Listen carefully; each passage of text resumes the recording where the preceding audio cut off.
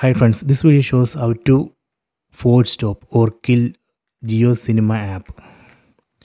So first go to settings. Then select apps. Then select see all apps. Then from this installed apps list, select JioCinema then here go down. And here we can see force stop. Select force stop. Using this force stop option we can kill JioCinema app which is running in the background. Let me try this. Select force stop then select ok. Done.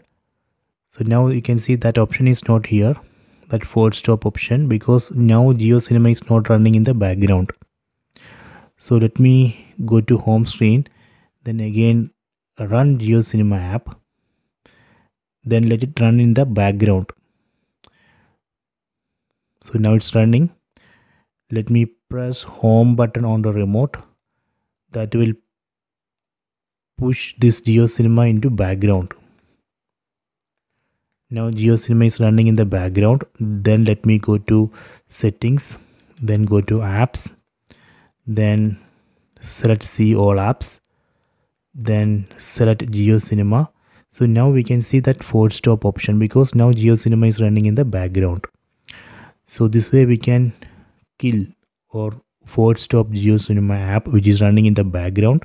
So i hope you have enjoyed this video. Please subscribe my channel. Please like and share the video